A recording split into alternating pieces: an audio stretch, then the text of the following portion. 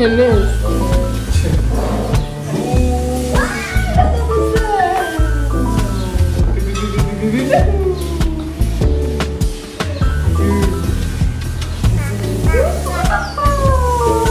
Mimi!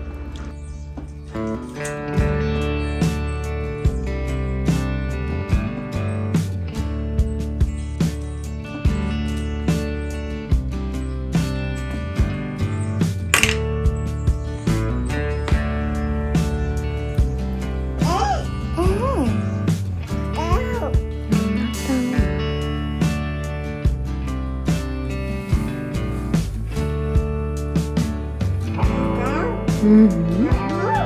É.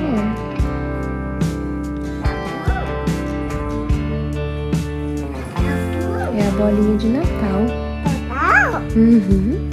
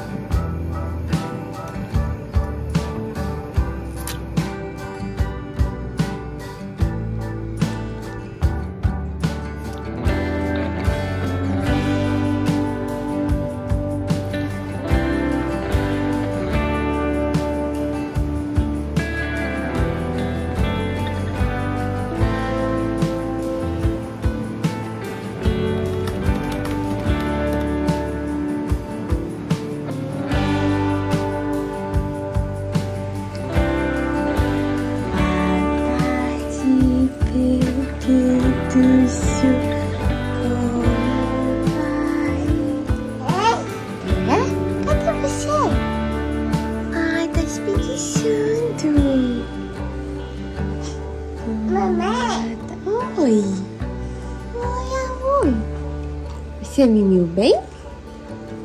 Hum? Hum? Você mimiu bem? Vamos, sabia? Água. Água, chuva. Ó, chuva.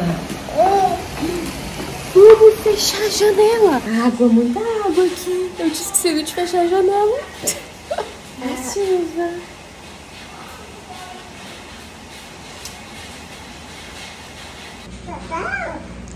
Árvore de Natal.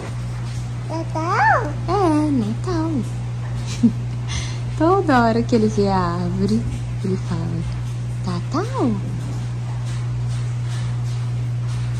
Água. Água, tá chovendo. Hum, pão. Pãozinho de amêndoas com requeijão. Tá gostoso? Tá? Abu. Bolinhas. Abu. É. Abu. Uh, bola. Cereja. Vamos ler esse? Abu. Abu. Um dia muito mal-humorado. Que dia Abu. perfeito! Abu.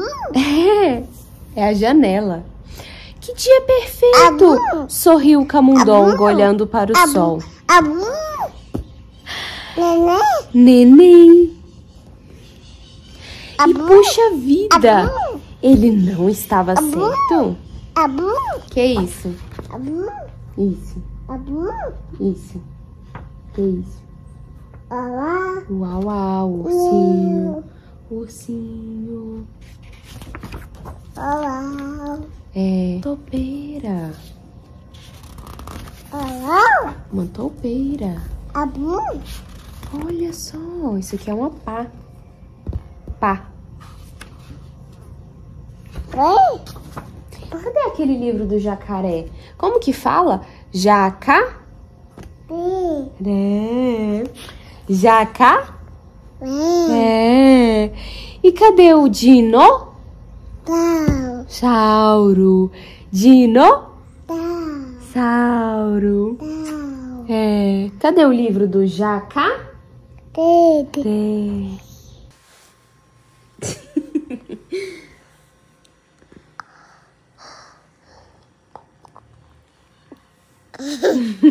Você gostou, né?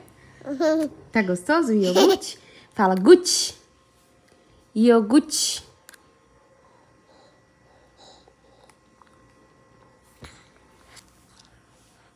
Tá gostoso? Iogurte. Dinossauro. Uhum, nós vamos ler esse.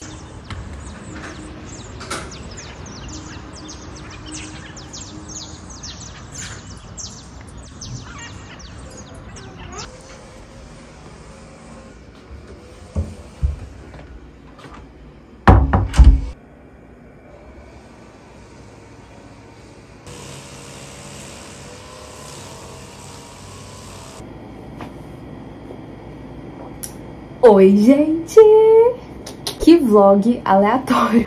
Gente, eu comecei esse vlog há quase uma semana, se não me engano. Enfim, já tem dias que eu tô gravando cenas aleatórias, como vocês viram aí, várias ceninhas, mas não parei pra falar oi, gente, pra conversar com vocês, pra né, dar mais sentido ao vlog. E eu confesso que eu até tinha desistido já desse vlog, eu ia descartar tudo que eu tinha gravado até agora. Ia falar, não, não, não, não deu certo, deixa pra lá esse vlog. Mas eu falei, quer saber? Vou compartilhar assim mesmo, vou seguir esse vlog, porque é o que aconteceu, né? Então, vamos seguindo. Então, assim, acabei de chegar da academia, o vizinho aqui tá cortando grama, então talvez vocês escutem um, um ruído, um barulho aí no fundo, mas acho que, que não é nada demais, acho que dá pra continuar gravando. Cheguei da academia agora e só fazendo um breve resumo de tudo que aconteceu aí nesses últimos dias, né? Sábado a gente comemorou o aniversário da minha mãe, na verdade o aniversário dela foi na terça, mas a Letícia e o Natan estavam aqui, então a gente decidiu comemorar no sábado, a gente fez um churrasco, um bolinho, foi muito legal, então coloquei algumas ceninhas pra vocês. E aí, final de semana, né, sábado domingo a gente sempre fica com família, sai pra almoçar fora, né, assim, na casa de alguém. Então, resumindo, foi isso. Ah, no domingo, acho que foi no domingo, a gente foi na praça da prefeitura aqui da cidade que tá com luzes de Natal. Gente, o Bielzinho falou Tatal um milhão de vezes. Ele ficou encantado com tudo. Eu até queria ter filmado mais, né, assim, tipo, pro vlog e tal, mas eu ele tava tão envolvido ali que eu fiquei querendo prestar atenção e nem gravei muita coisa, mas foi muito bonitinho. Eu quero ver se a gente leva ele de novo, né, pra ele ver de novo, porque ele ficou encantado com as luzinhas, com a decoração. Então foi algo assim bem legal. E na segunda-feira nós fizemos dois anos de casados, gente, 12 de dezembro, dois anos já. Como o tempo tem passado rápido e ao mesmo tempo como cada coisa tem sido intensa, né? Tanta coisa a gente viveu já nesses dois anos. Postei lá no Instagram, né? Fiz declaração, coloquei um vídeo bem bonito, mas assim, só deixar registrado aqui nesse vlog, né, a minha alegria. Eu falo que a cada dia que passa eu sou mais feliz, né? A cada dia que passa eu amo o Gabriel mais, eu amo mais a nossa família, os nossos filhos. Então, de fato, assim, fazer esses dois anos é, é, um, é um marco muito importante, né? Comemorar essa data é algo muito importante. É, é só agradecer a Deus mesmo por tudo. E foi isso. Ah, e aí na segunda a gente saiu pra jantar. Eu também queria ter gravado mais pra vocês, mas não gravei muita coisa. Queria ter feito um arrumes comigo, mas também na correria não deu muito certo. Gravei algumas coisinhas aí pra vocês, o meu look bem rápido. Mas foi isso, a gente saiu pra jantar. E depois a gente foi tomar sorvete e foi isso. Na terça, que foi aniversário da minha mãe mesmo, eu fui pra lá, lanchei com ela, fiquei lá e tudo. O Bielzinho foi também. Mas acabou que eu também não gravei muita coisa. E aí foi isso, gente. Essa semana foi, né, recheada de trabalho, coisas pra fazer. E basicamente foi isso. Quero mostrar pra vocês a minha barriga, vou mostrar pra vocês o Antônio. Eu estou com 24 semanas, completei 24 semanas no sábado. E tá passando muito rápido, gente. Eu sei que muitas de vocês estão me perguntando sobre o quartinho. Então, calma, vamos lá, parte por parte. Falei que ia mostrar a barriga, né? Então vamos pra essa parte. Ó, está assim. Tcharam!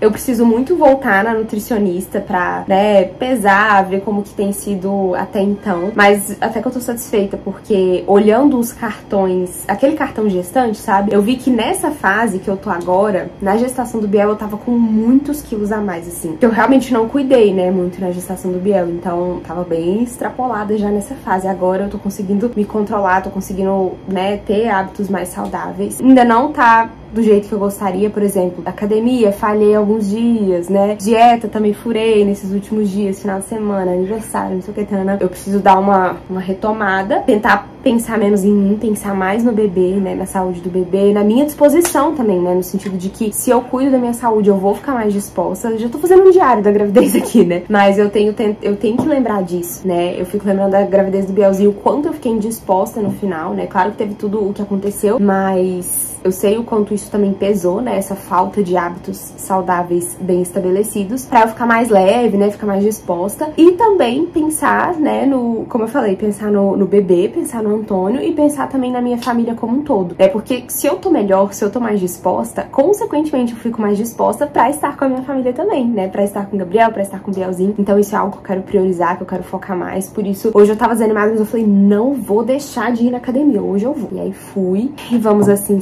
seguindo. Mais cedo, o Biel fez uma soneca muito longa. Eu aproveitei para adiantar algumas coisas. Estava aqui no computador fazendo um roteiro de uma aula pro clube. Deixa eu até dar um spoiler, as que são alunas. Gente, essa aula vai ser demais. É uma aula sobre as virtudes. A nossa aula 82. O clube é realmente uma preciosidade. Se você não sabe do que eu tô falando, se você ainda não sabe o que é o Clube da Autoestima, eu vou deixar o link da lista de espera aqui na descrição. Mas olhem só, eu tava aqui fazendo o roteiro, anotando a parte teórica. E tem muita dica prática, gente. Nossa, assim, vai trazer uma luz em relação a esse tema das virtudes, a importância das virtudes na nossa busca pela autoestima, o quanto isso impacta na nossa vida, o que que nos atrapalha nesse processo, o que são as virtudes de fato. Então, realmente é uma aula muito, muito boa que eu tava aqui preparando pra depois gravar. Ah, mais uma coisa aleatória. Ontem, minha mãe e eu fomos no brechó, num brechó que tem aqui na Ilha. O M73 Brechó é da Miriam. Eu amo esse brechó, assim, eu já era cliente e tal, já ia lá, já comprava algumas coisas e agora a gente tem feito algumas parcerias e tem dado muito certo porque eu acho a curadoria dela muito boa, assim, ela seleciona peças muito boas, de muita qualidade, peças lindas e é muito legal a ideia do brechó, né? Porque a moda vai rodando, né? Uma coisa que às vezes pra gente já não fazia sentido, pra outra pessoa faz muito sentido. Então, quero aproveitar pra compartilhar com vocês algumas coisas que eu garimpei lá ontem. Gente, muita peça linda e eu vou mostrar pra vocês.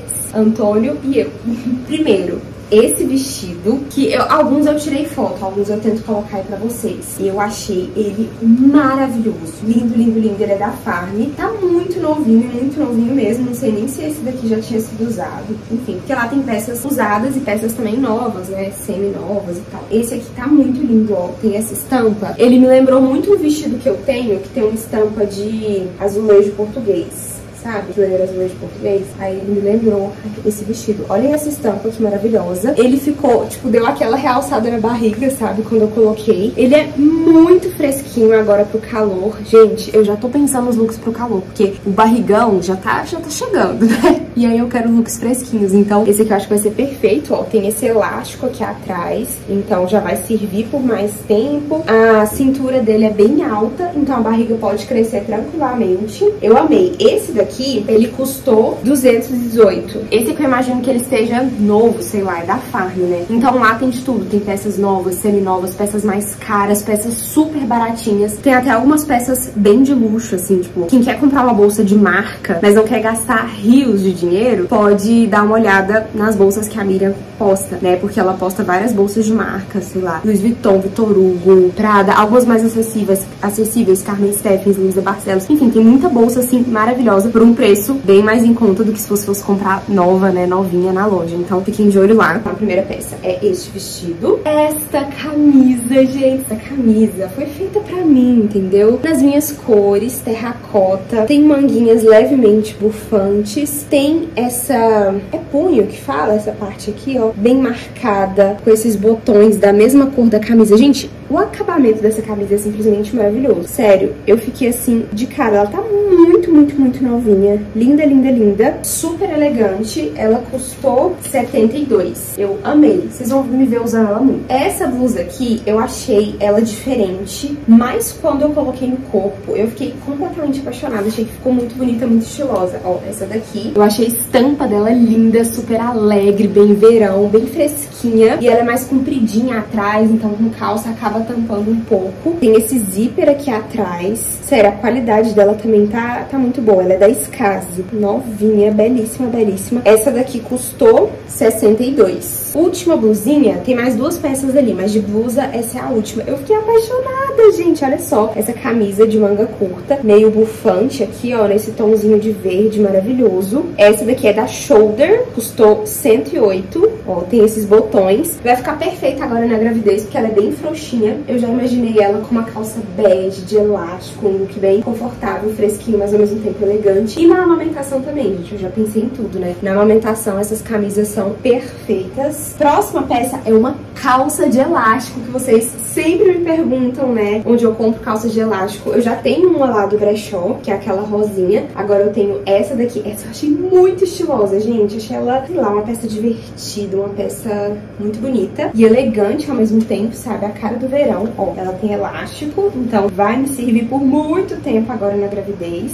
Tem o cinto, que é da mesma cor, né? Do mesmo tecido, mesma estampa. Tem bolso. Gente, olhem só essa, essa calça, a qualidade dela é perfeita. Ela tem um forro, sabe? Tem forro por baixo. É, é muito estruturada, muito bonita. Aí tem aqui o cinto e ela é pantalona, pantacu. Bem frouxinha, do jeito que eu gosto, sério. Tô apaixonada. Ela é, o tecido dela parece um crepe, não sei ao certo. Fica bem elegante, muito bonita. E pra fechar, já tenho o meu lookinho do ano novo. Ele acabou sujando de maquiagem aqui aqui, ó. Mas é esse vestido. Eu nem experimentar, eu falei, ah, acho que não vai ficar legal. Mas quando eu experimentei, eu fiquei apaixonada. Tá faltando cinto. Eu ia ficar com cinto também, mas agora que eu percebi que ele não veio, depois eu vou pegar lá, que é um cinto maravilhoso. Inclusive, lá no brechó também tem acessório, né? Tem bolsa, acessório, cinto, acessórios tipo colar, pulseira, enfim, brinco e tal. Aí ele é assim, super fresquinho também, um tecido bem fluido, bem bonito. E ele vem com essa camisolinha pra pôr por baixo, então não fica transparente. Ele também tá super novinho, ó, muito bonito. Belíssimo, super estruturado, sabe? Esse aqui, ó, eu usaria num batizado. Como que fala? Chá de panela, né? Chá de, de casa nova. Usaria casamento civil, enfim, dá pra usar. Esse aqui custou 258. Bom, as peças foram essas. E me contem, né, aqui nos comentários se vocês gostam também que eu mostre, assim, nos vlogs, compras, recebidos, provando looks, me contem aí. E agora, vamos nos preparar pra fazer a rotina noturna do Biel, colocar ele pra dormir. E Gabriel e eu vamos preparar um jantar hoje. Vou ver se eu consigo filmar um pouquinho pra vocês também, tá? E vou fazer a minha rotina noturna também, tomar um banho. Aí eu vou compartilhando com vocês. Mini torta de cookies. Será que vai prestar? Tá bom, tá bom. Tá bom.